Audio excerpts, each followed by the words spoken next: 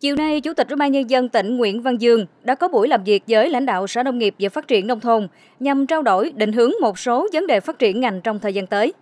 Chủ tịch Ủy ban nhân dân tỉnh Nguyễn Văn Dương lưu ý ngành nông nghiệp không quá chú trọng vào sản lượng đạt được mà quan tâm đến lợi nhuận, giảm giá thành sản xuất và tăng chất lượng sản phẩm. Cùng với đó, ngành nông nghiệp cần quan tâm phát triển nông nghiệp hữu cơ, sản xuất an toàn, truy xuất nguồn gốc, đảm bảo tính đồng đều sản phẩm để đáp ứng nhu cầu thị trường. Việc phát triển các hợp tác xã từ nền tảng hội quán để nâng cao nhận thức của người nông dân về kinh tế tập thể, khắc phục tình trạng sản xuất manh mún nhỏ lẻ để đạt hiệu quả cũng là vấn đề được ông Nguyễn Văn Dương nhấn mạnh với ngành nông nghiệp cần quan tâm trong thời gian tới.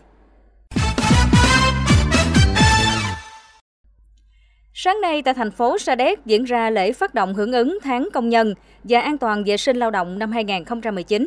Phó Chủ tịch Ủy ban nhân dân tỉnh Nguyễn Thanh Hùng kêu gọi các doanh nghiệp quan tâm đến công tác an toàn vệ sinh lao động, thường xuyên tổ chức kiểm tra, không để tai nạn đáng tiếc xảy ra và đề nghị toàn thể công nhân, người lao động chấp hành các quy định về an toàn vệ sinh lao động, thích ứng nhanh với tác phong công nghiệp và kỷ luật lao động cao. Dịp này, 5 tập thể và 10 cá nhân được nhận bằng khen của Ủy ban nhân dân tỉnh về thành tích xuất sắc trong công tác đảm bảo an toàn vệ sinh lao động năm 2018. Liên đoàn Lao động tỉnh cũng tặng 200 suất quà cho công nhân có hoàn cảnh đặc biệt khó khăn, mỗi suất trị giá 500.000 đồng và 19 suất thăm hỏi công nhân bị tai nạn lao động, mỗi suất trị giá 1 triệu đồng.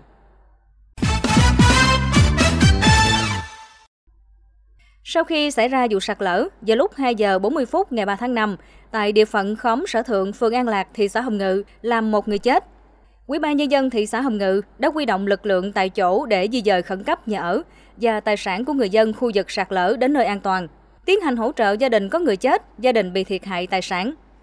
Trước mắt, địa phương sẽ tiến hành kiểm tra, phục hồi các biển báo cảnh báo sạt lở trong khu vực sạt lở để hạn chế người dân qua lại khu vực, di dời khẩn cấp các hộ dân có nhà ở sát mép sông khoảng 30 m đến nơi an toàn, nghiêm cấm nuôi cá, xây dựng các công trình, kho và bến bãi chất tải dọc bờ sông. Sở Nông nghiệp và Phát triển Nông thôn sẽ kiến nghị tỉnh đưa vào danh mục công trình sạt lở trọng điểm bờ sông Tiền cần bảo vệ trên địa bàn tỉnh và đề xuất biện pháp bảo vệ lâu dài. Hiện toàn tỉnh có 263 cơ sở được cấp giấy phép bán lẻ rượu, trong đó có 109 giấy phép còn hiệu lực, cấp giấy phép cho một đơn vị sản xuất rượu công nghiệp và 187 cơ sở sản xuất rượu thủ công. Đồng thời, ngành chức năng đã tiến hành thanh tra, kiểm tra việc tuân thủ quy định về kinh doanh rượu đối với 72 cơ sở, trong đó có 10 cơ sở chưa đảm bảo quy định về an toàn thực phẩm.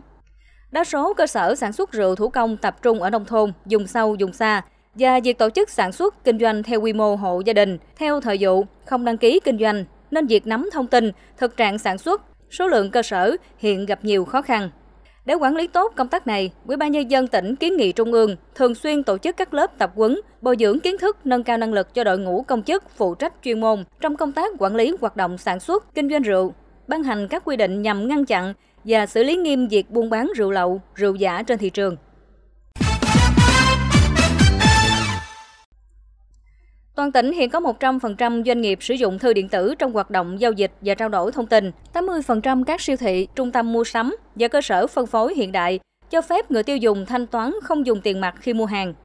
Nhằm khuyến khích các doanh nghiệp, hợp tác xã, cơ sở sản xuất, thanh niên khởi nghiệp ứng dụng công nghệ thông tin vào việc quảng bá, giới thiệu sản phẩm, xúc tiến bán hàng thông qua website thương mại điện tử. Sở Công Thương đã hỗ trợ 10 đơn vị nhận chuyển giao phần mềm quản lý bán hàng thông minh từ đề án hỗ trợ các nhà bán lẻ ứng dụng giải pháp quản lý bán hàng thông minh thuộc chương trình phát triển thương mại điện tử quốc gia năm 2018.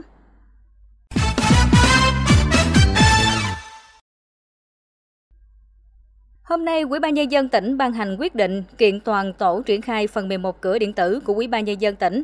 gồm 11 thành viên do ông Nguyễn Văn Phú, chánh văn phòng Ủy ban nhân dân tỉnh làm tổ trưởng. Tổ này có nhiệm vụ nghiên cứu, tích hợp và mở rộng các tính năng mới của phần mềm một cửa điện tử, đồng thời kết nối, liên thông phần mềm một cửa điện tử với các phần mềm khác có liên quan trên địa bàn tỉnh. Theo kế hoạch vận động, giới thiệu lao động tham dự phỏng vấn để đi làm việc tại Ba Lan vừa được ban hành. Đối tượng vận động là lao động nam có tuổi đời từ 20 đến 35, chiều cao từ 1m55 trở lên, tốt nghiệp trung học phổ thông trở lên, ưu tiên có bằng trung cấp cao đẳng nghề trở lên có sức khỏe tốt, không mắc các bệnh viêm gan B, C, HIV, S, lao phổi, tim mạch, các bệnh truyền nhiễm khác, đặc biệt không có hình xăm trên cơ thể.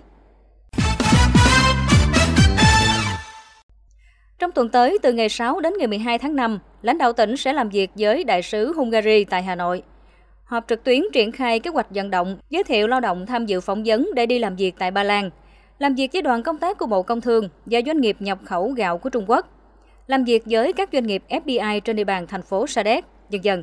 Mời quý vị và các bạn theo dõi các sự kiện này trong điểm tin tuần sau.